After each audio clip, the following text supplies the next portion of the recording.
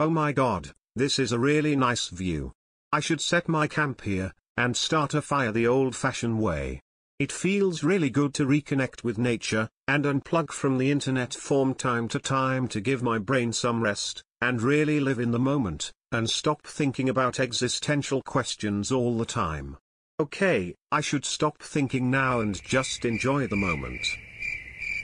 But can one really stop thinking? I mean thoughts just happen by themselves right?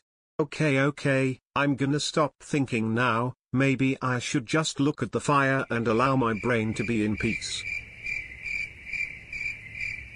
But just looking at the fire might not be the best way to spend my time here. So maybe I should look up at the stars. Oh my god. Look at all the stars and galaxies, this gives me the chills, because at some point, I myself was just some stardust. Or was I? Is this a simulation? Is all of this even real? And what does real even mean? And does it even have to mean anything for it to exist? Okay I have to look at the fire again, I can't my brain stop. I mean I can't stop my brain. I wonder how the sensing types experience the world, do they always live in the moment? And what is that like? I feel like I'm always thinking. Okay I think the best way to stop my brain is to go to sleep. This is the worst camping experience of my life.